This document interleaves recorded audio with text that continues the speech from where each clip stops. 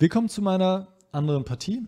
Und zwar am Sonntag habe ich äh, gegen meinen alten Club gespielt, gegen den Hamburger Schachclub, für den ich von 2006 bis 2000, wie lange war ich für Hamburger SK aktiv? 2018? Relativ lange, wenn man das so sieht. Auf der anderen Seite war ich auch vier Jahre im Ausland, aber ich habe schon viele Saisons für den HSK gespielt. Und jetzt ja, spielte mein Club Bayern München am Sonntag gegen HSK und wir sind beide im Abstiegskampf. Und da wir das Match am Samstag verloren hatten, brauchten wir unbedingt äh, einen Sieg hier ähm, in dem Match. Also ganz, ganz wichtiges Match für beide Seiten. Wobei der HSK war zwei Punkte vor uns in der Liste. Und hier spiele ich gegen Frederik Swane, der auch schon Großmeister ist. Ist der Bruder von Rasmus Swane, aber auch schon sehr, sehr stark. 2566 ist seine Zahl vor der Europameisterschaft. Er hatte eine sehr starke Europameisterschaft. Er klopft jetzt schon an die 2-6. Also der Junge, der ist, der ist stark. Ich habe auch schon zweimal gegen ihn verloren tatsächlich. Äh, das letzte Mal letztes Jahr in Magdeburg. Und ja, ich weiß gar nicht, wann, wann, er das letzte Mal eine Partie verloren hat. Also Frederik ist stark. Und ähm, ich spiele hier mit Weiß. E4 Sizianisch hat mich ein bisschen überrascht. Und E6, das hat mich noch mehr überrascht, muss ich zugeben. Es war nicht so viel Zeit für die Vorbereitung. Frederik spielt viele Eröffnungen und das hatte ich jetzt nicht vorbereitet hier, dass er mit Springer C6 spielt. Und das hat mich ein bisschen in Schwierigkeiten gebracht, denn ich wollte jetzt nicht seine Vorbereitung sehen. Wenn ich jetzt Springer C3 spiele, gut, er hat entweder A6 oder Dame C7 hätte er jetzt gespielt. Und ähm, ja, ich wollte seine Vorbereitung hier nicht sehen. Insofern habe ich gedacht, ich überrasche ihn selber mit dem Zugläufer 4. Wer im Stream dabei war, äh, den Zug habe ich schon mal gespielt. Da habe ich gesagt, ach, ich spiele jetzt wie Duda, denn Duda hat so gespielt gegen Rapport im Kandidatenturnier. Aber um ehrlich zu sein, ich weiß nicht viel über diesen Zug.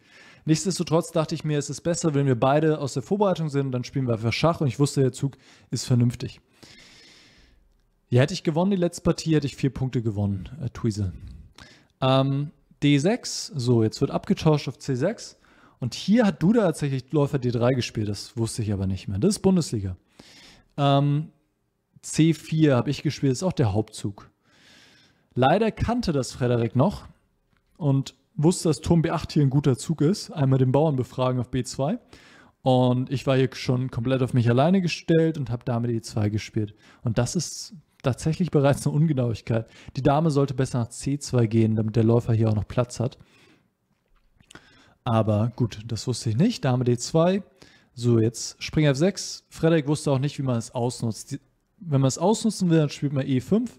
Und jetzt sollte der Läufer wohl nach G3, wo er nicht besonders gut steht. Denn wenn der Läufer nach E3 zieht, dann kann hier Schwarz direkt mit F5 nachsetzen. E schlägt F5 und dann D5. Ähm, das ist hier ein sehr starkes Zentrum und Weiß ist unter Druck. Gut, Frederik hat Springer F6 gemacht. Ich spiele Springer C3, E5. So, jetzt Läufer E3. Das habe ich richtig gespielt. Und Frederik hat das nach wie vor sehr schnell gespielt, was mich überrascht hat, weil ähm, das sind hier eigentlich nicht die besten Züge und ich, vielleicht hat er das irgendwie vertauscht. Keine Ahnung. Springer G4. Ja, hier hätte ich sogar den Bauern schlagen können, scheinbar. Ähm, ja, warum eigentlich nicht? Gut, ich habe Läufer G5 gespielt. Schauen wir uns mal Läufer schlägt A7 an, Turm B7. Und jetzt nicht Läufer E3, dann bekommt er wirklich gute Kompensation. Ich muss mit dem F-Bauern schlagen, damit der Bauer hier gedeckt bleibt. Das sieht hässlich aus. Schwarz hat die Läufer, meine schwarzen Felder sind schwach. Das sieht nicht so gut aus. Aber H3, ja, hier habe ich, ich habe nicht über diesen Zug nachgedacht. Ich weiß auch nicht, ob ich ihn sonst gespielt hätte, denn auch diese Stellung, so eindeutig wäre mir das nicht wie das hier zu bewerten ist. Aber gut, ich habe den Freibauer, ne? das ist schon was wert. Auf der anderen Seite ist mein König ein bisschen schwach, wenn ich hier kurz rochiere. Und Weiß hat auch noch diesen Zug. Springer H2. Was für ein Zug, oder? Springer H2. wenn ich jetzt schlage, verliere ich mein Rochaderecht, aber ich kann den Läufer zurückbringen. Springer schlägt auf 1, König schlägt auf 1. Aber gut, hier habe ich einfach einen Bauern mehr. Das sieht relativ gut aus. Hm. Ja, okay. Gut, ich war eigentlich auch recht zufrieden mit Läufer G5. Er spielt Dame B6. Und jetzt habe ich H3 gespielt, das war richtig, den Springer vertreiben. Und er spielt F6. Und Ja, ich spiele den Läufer zurück nach H4, er spielt Springer H6, aber hier habe ich einen Fehler gemacht. Hier habe ich zu schnell gespielt. Ich dachte mir, ich habe schon recht viel Zeit verbraten, ich mache jetzt mal flink B3, aber das ist ein Fehler. Das ist ein Fehler. Ähm, danke dir, Nitros, danke dir. Ich sollte Turm B1 spielen, auch wenn es ein bisschen hässlich ist, aber ich halte meine Struktur. Ich sag mal, ich schwäche meine schwarzen Felder nicht. Das ist der entscheidende Punkt. Und jetzt stehe ich hier besser. Läufer E7, Vielleicht F3, den Läufer zurückbringen, sieht gut aus. Ähm, gegen gleich starke Gegner bekommt man 5 Punkte dazu, wenn man gewinnt. So. Warum ist B3 ein Fehler? Er hätte jetzt D5 spielen können. Und ist, ich habe das gesehen während der Partie. Ich habe hab echt, ich habe Angst gehabt, dass er D5 spielt, weil ich wusste, uh, das wird sehr unangenehm.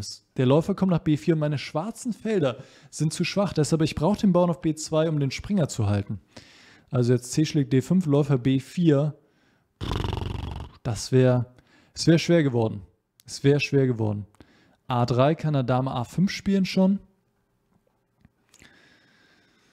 Die schwarzen Felder. Der Läufer deckt die schwarzen Felder nicht. Das ist das Problem. Und was ist der beste Zug? Computer D schlägt sorry, ein Nieser oder doch nicht, immer fünf Punkte. Ja, wenn ich ge genau gegen einen gleich starken gewinne, kriege ich fünf Punkte, Richie. So ist es. Ähm, D schlägt C6. Achso, hier dachte ich Dame D4. Aber das scheint nicht zu gehen. Warum nicht? Dame D4, Turm C1. Läufer schlägt C3. Warum geht das nicht? Turm schlägt C3, Dame schlägt E4 Schach. Läufer E2 und den Läufer darf man sich jetzt nicht holen. Ah, okay, C7 gewinnt. Okay. Mhm.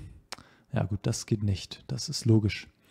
Ähm, das heißt, so darf, Weiß nicht spiel äh, so darf Schwarz nicht spielen. Das heißt, er schlägt zurück. Jetzt Läufer C4. Aber jetzt, jetzt verliere ich auch den Läufer, oder? Was ist hier los? Tag, Dame E4, König F1. Dame schickt H4, habe ich Läufer B5. Boah. Puh. Und das ist jetzt irgendwie ausgeglichen. Crazy. König F7, Dame C7, König Läufer D7, schlägt, schlägt, Turm D1, König E8 und jetzt G4. Ja, okay, komm. Also, wer soll diese Varianten finden? G4, okay, crazy. Um die Dame auszusperren, oder wie? Ist doch, ist doch verrückt hier. Ja. Ähm, also, ich sag mal so, mit dem Zug D5 hätte er mich ganz schön unter Druck gesetzt. Das heißt, ich habe erstmal, ich habe richtig ausgeatmet, äh, als Läufer E6 kam, weil ich wusste jetzt, okay, werde ich erstmal nicht überrannt. Läufer E2, Läufer E7. Hier war kurz drauf und dran, F5 zu spielen. Den Zug hätte ich eigentlich gerne gesehen. Er meinte, er hat es dann nicht gespielt wegen F4. F4 ist möglich, aber ich wollte Läufer G5 spielen. Das, äh, das wäre besser gewesen auch. Läufer G5, F4, Läufer steht H6, G steht H6, Läufer 5. Ja, ich dachte, das muss gut sein für mich. Das ist auch besser für mich. Ähm, gut. Er macht Läufer E7. So, und jetzt hätte ich simpel spielen sollen. F3. Den Läufer zurückbringen. F3, kurz Hochade, Läufer F2. Und Dame B7, kurz Hochade. Und die Struktur ist besser für, für mich. Der Bau auf D6 ist eine Schwäche, weiß, Schwarz kommt nicht zu D5, der Springer steht auch ein bisschen komisch. Ja, wie geht's hier weiter? A5, Springer A4, Springer F7 sagen wir mal. Achso, jetzt hängt schon der Bauer. Äh, Springer F7, Turm FD1, Turm D8. Ich mache mal irgendwelche Züge. Ich will einfach nur sehen, wie, wie der Computer spielen will. Und jetzt hier irgendwie ein bisschen expandieren. A3, A3 und B4, ja? Okay. Hm. Ja, ist keine leichte Stellung, aber ein bisschen besser für Weiß. So. Was habe ich gemacht? Ich habe Läufer, Läufer 5 Schach gespielt, um jetzt hier die Läufer zu tauschen. Aber das war, das war gar nicht so eine tolle Idee tatsächlich. Also rein prinzipiell ist es schon eine gute Idee, die Läufer zu tauschen, aber es geht auch mit einer leichten Schwäche meiner Stellung einher und war jetzt nicht optimal. Ähm, auch hier könnte ich erstmal kurz hoch Hade spielen, keine Eile. So, Läufer G4, tak, tak. Okay, hier gibt es auch wieder eine verrückte Variante, die der Computer vorschlägt. Gut. Frederik hat Dame B7 gespielt, der Computer sagt H5, G schickt H5 und jetzt D5. What the hell? Und dann Läufer B4, auch wieder komplett dynamisch gespielt. Echt crazy. Crazy. Erst H5, dann D5, dann Läufer B4. Wow. Puh, die schwarzen Felder. So. Ähm. Gut, jetzt Dame B7. Er wollte, glaube ich, Läufer D8, Läufer B6 vorbereiten. Ich habe Turm C1 gespielt, um nach Läufer D8 Springer A4 spielen zu können und dann C5 folgen zu lassen. Ich fand Turm C1 recht sinnvoll. Okay, kurz Hochade. So, jetzt kurz Hochade, Läufer D8. Er will jetzt den Läufer nach B6 bringen. Ich spiele Springer A4, Läufer B6, C5. Das ist hier ein ganz typischer Hebel, um die schwarze Struktur aufzureißen und dann hat jetzt Schwarz hier Schwächen. Ähm, insofern ist das ein bisschen besser für mich. Dame E7 greift den Springer an. Ich spiele Dame C2, decke den Springer. Turm D8. Ja, das haben wir beide recht gut gespielt hier. Diese Phase F3 bringt den Läufer zurück. Die Fesselung ist unerheblich für den Moment. Turm D6, Läufer F2, Springer G5. Turm D1, das war auch richtig. Turm D8. Aber jetzt B4 war nicht richtig. Ja, da habe ich auch länger nachgedacht hier. Äh, sechs Minuten. Ähm, ich müsste die Türme tauschen. Turm schlägt der 6 und diese Stellung probieren, B4. Aber es ist jetzt auch nicht so viel. Ja. Es ist jetzt auch nicht so viel, aber gut, man kann das, glaube ich, schon länger spielen. Springer E6, Dame C4 sagen wir, König F8, Springer schlägt E6, Dame schlägt E6, Dame schlägt E6. Sowas zum Beispiel. So ein Endspiel hier, ja, das kann man schon mal spielen. Vielleicht G5 im geeigneten Moment. Ähm, das kann man machen. Das ist das Beste, was ich erreichen kann, um ehrlich zu sein. Das ist das Beste, was ich erreichen kann. Ich brauche die Türme auf dem Brett und ja, das war einfach eine falsche strategische Entscheidung hier von mir. Ähm, ich dachte nach B4, auch wenn er die Türme tauscht, dass ich auch hier noch Chancen habe, aber es ist jetzt, ist jetzt nicht mehr viel los, leider. Ja, ich brauche die Schwerfigur noch auf dem Brett. Ja, gut, er macht König F7. Hm, was mache ich? A4. Ja, sieht sinnvoll aus. Springer E6, Dame B3. Feste den Springer. Und das hat er hier auch gut gespielt. Also jetzt Dame D6 war, denke ich, auch sehr präzise. Gut, er kann auch schlagen auf C5. Lauf schlägt C5, Dame D7. Jetzt droht hier Dame D2, aber ich spiele auf E3, habe alles im Griff.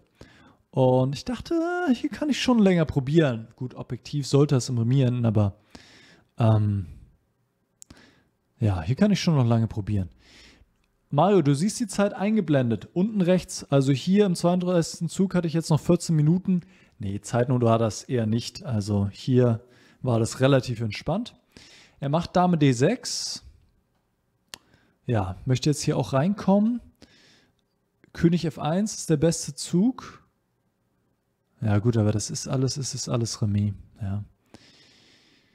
Ja, ich habe A5 überlegt, aber dann schlägt er auf C5 und Läufer schlägt C5, später Dame D2. Und nach König F1 kann er Dame C1 spielen. Ja, das wäre vielleicht ein besserer Versuch gewesen hier. Dame C1, König E2. Jetzt wäre der beste Zug A6. Ja, A6, Läufer E3, Dame H1. Aber hier muss er noch ein paar präzise Züge finden. Aber jetzt ist es wieder, ja, wieder Dauerschach. Ähm, denn König G6, das war der Grund, warum ich das nicht gespielt habe. Wegen König G6, wenn ich jetzt den Springer schlage, dann ist es Dauerschach. Dame C2, ich komme hier nicht, nicht mehr weg. Ähm, das ist Dauerschach.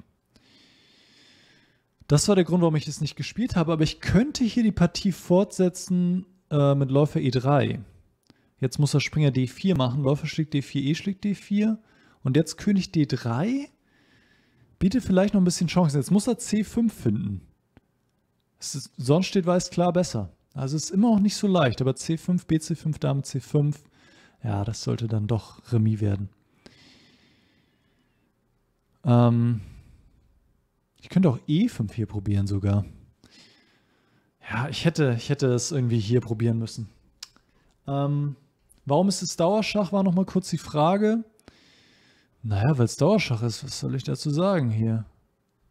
Dame H6, König G3, Dame F4 ist eben Dauerschach. Dame E1, Dame H4. So, also A5, das wäre der beste Versuch gewesen, denke ich. Ich habe ja auch überlegt, ob ich mit dem Bauern wieder schlage, aber jetzt kann er auch Dame D2 machen. Ja, es ist immer, der König ist immer Dauerschach. Nee, A5 und dann läuft Schlägt C5 war die beste Chance. König F1, ja, jetzt macht der König E7. Und der Computer sagt jetzt hier noch Vorteil mit Dame schickt E6, aber das, das habe ich gespielt, das ist nichts. Bobby, Dame schickt E6 gewinnt nicht, mein Lieber, das kann ich dir versprechen. Ähm, ja, gut. Wenn ich weiterspielen will, dann sollte ich vor Springer schlägt E6 spielen. Und. Ach, ich kann sogar auf F2 schlagen. Ich dachte, ich kann es auf G7 nehmen, aber dann Dame D2. Ja, es ist zu viel Gegenspiel hier. Guten Abend, Frank. Ja, Bobby Fischer, dazu kommen wir gleich. Es ist leider nicht gewonnen. Ähm, aber gut, ich kann auch schlagen. Dame E6, Dame C2. Aber dieses Damenspiel, es bietet auch absolut nichts. Insofern, tja. Ähm, Gut, ich habe, ja, was habe ich noch überlegt? Ich habe A5 noch überlegt hier, Läufer C5, BC5, Springer C5. Es ist auch alles immer ausgeglichen. Dame C2, Springer D7, Läufer schlägt A7 habe ich überlegt, aber jetzt C5. Ich dachte, wenn das schief läuft, kann ich das auch mal verlieren. Ja, hier ist der einzige Zug Dame E2. Okay, das zeigt schon, hier riskiert nur weiß, nicht schwarz. Also das äh, geht nicht. Gut, das heißt, ich habe Dame E6 gespielt, Dame E6, Springer E6, ähm, König E6. Und das Problem ist jetzt hier, auf den ersten Blick sieht das gut aus mit dem potenziellen entfernten Freibauern, aber nach König E2, ähm, König D6, König D3, sogar jeder Zug ist hier Remis, wow. Aber ich dachte, das einfachste wäre B5. Wenn ich schlage, ist offensichtlicherweise nichts mehr los. Und nach A5 ähm, kann er auch, also er kann sich jetzt einfach, er kann einfach abwarten, er kann C5 spielen. Also es ist alles Remis quasi, alles. Ja. Deshalb habe ich nicht die Läufe getauscht, sondern Läufe E1 gespielt und gedacht, vielleicht geht hier noch was, aber es geht absolut nichts. Er spielt A6, König E2 spielt G5 und ich komme nicht durch. Das war's. König D3, König C4. Es gibt absolut kein Durchkommen hier. Ich meine, mein einziger Hebel ist B5, aber damit erreiche ich nichts. Dann tauschen sich hier die ganzen Bauern ab und dann, wie, wie soll es jetzt weitergehen? Das ist komplett Remis.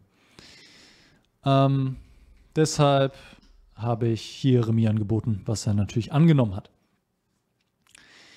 Ja, es war eine vernünftige Partie von uns beiden, denke ich. Insgesamt eine gut gespielte Partie mit Chancen. Also er hatte einmal eine fette Chance, in Vorteil zu kommen mit D5.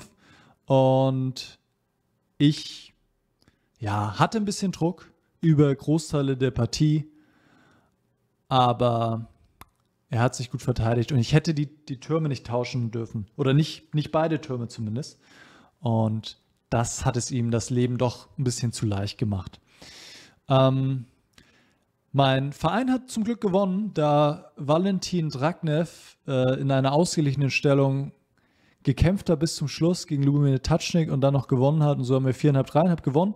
Jetzt haben wir acht Punkte, acht Mannschaftspunkte und sind auf dem geteilten 16. Platz, geteilten 12. Platz, sorry, mit vier anderen Clubs. Das ist richtig, richtig eng. Und der zwölfte Platz ist noch ein Abstiegsplatz, aber puh, ja, ist richtig, richtig eng.